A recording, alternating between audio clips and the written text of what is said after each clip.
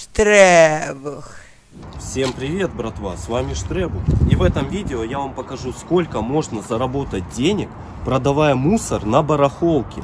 Вы посмотрите на это огромное количество сумок. Все вот это барахло мы с Димой насобирали примерно за недельки три. В общем, барахла вообще очень много. Сейчас посчитаем.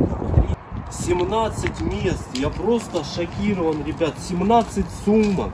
Тут очень много всего. Это все из помоечек, ребят. Много барахла, капец. Разная электроника, чайники, мягкие игрушки, одежда, обувь. Все здесь. Все, что мы находили в помойках, все в этих сумках.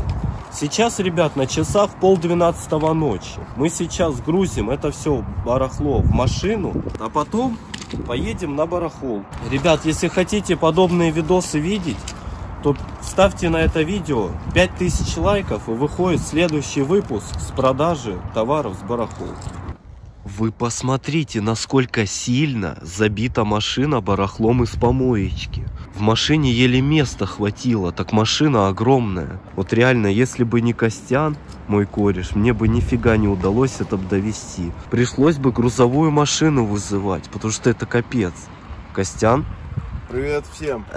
Спасибо тебе большое. Да не за что, Влад, всегда обращайся. Хорошо, Костян.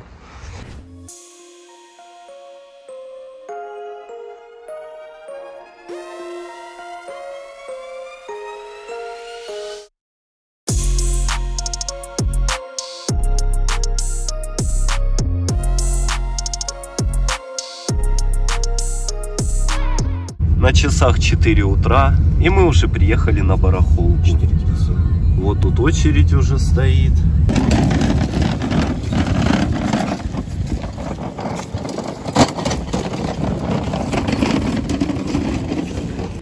Ну а теперь нам нужно было занять козырное местечко, да так, чтобы нас оттуда не выперли местные продавцы.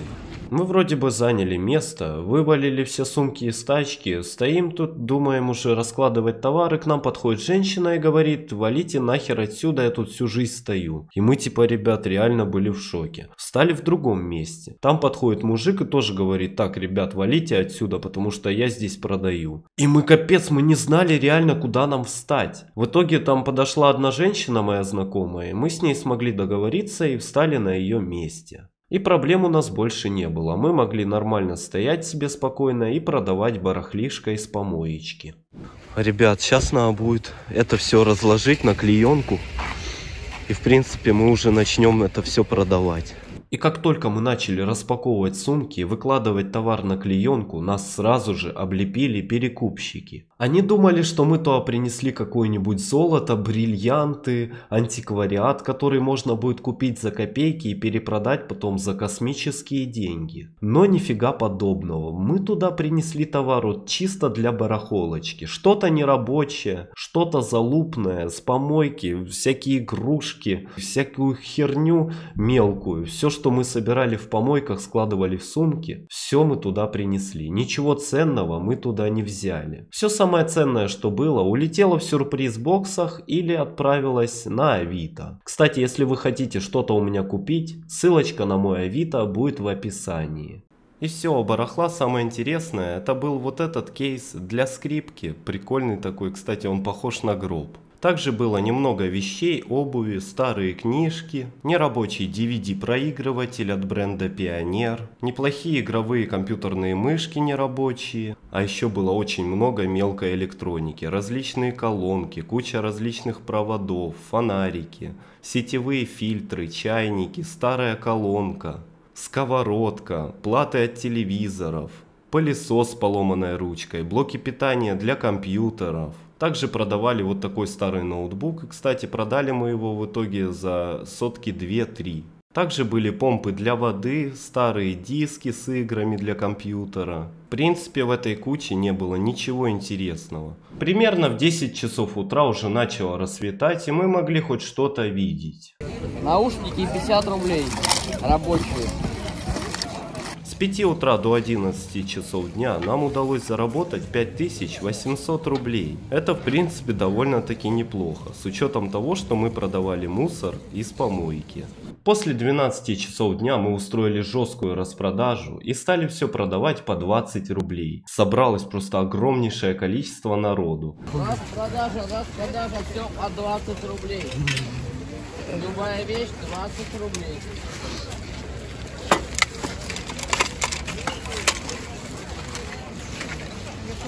Все по 20 рублей, распродажа, любая вещь 20 рублей.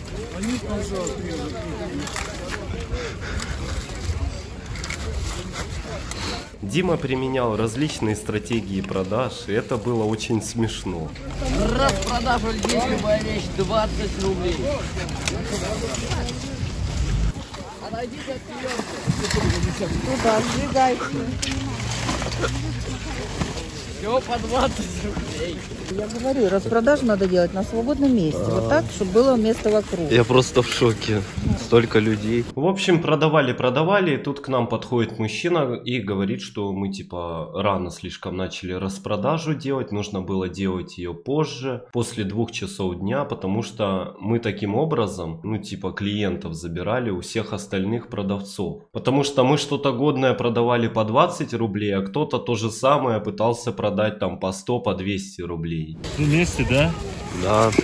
Проблема так делать будете, понимаешь? Если оно Распродажа. жалоба, не просто вас больше не будет пропускать, так А нельзя. тут и не будет. Понимаешь, потому что вот сколько люди сидят, хотят деньги заработать, а вы пришли там, все, Всё по 20 рублей, это, блядь, просто по-братски 20 тебя говорю, так рублей. некрасиво. Мы тоже делаем после, 20, после Они двух. все жалуются, потом 30 придет. рублей. А, после- да, что- Мы после после двух? двух, уже Да, делаем по да. 30 рублей, А там по сейчас, 10 да, да.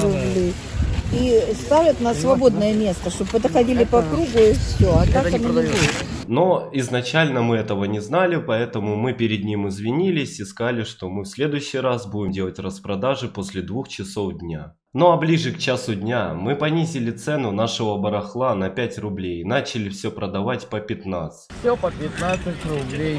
Ну и прошло минут 40, и мы начали все раздавать бесплатно, потому что мы простояли на барахолке 8 часов. И за 8 часов мы знатно замерзли и уже очень сильно хотели домой.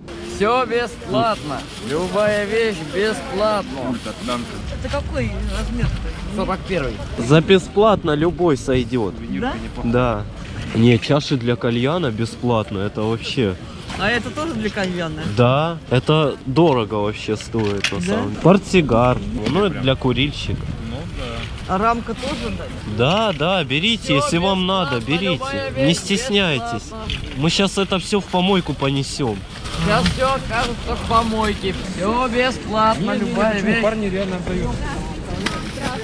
Ну а что, нам бесплатно это досталось. Вот мы и отдаем бесплатно. Что предлагается? Да, вот бесплатно. все бесплатно. Аукцион невиданной щедрости. Да, вот старая книга на самом деле очень старая, 55 года. Никто не хочет ее даже бесплатно взять. Он точно рабочий, просто помыть надо его. Бесплатно, грех жаловаться. Ну тогда... Ну тогда на халяву и уксус сладкий, правильно, ребят? По итогу за 8 часов продавая мусор из помойки на барахолке нам удалось заработать 8750 рублей. Это на двоих, на меня и Диму. Продавая мусор мы не только заработали денег, но и внесли свою лепту в экологию планеты. Дали электронике из помойки вторую жизнь.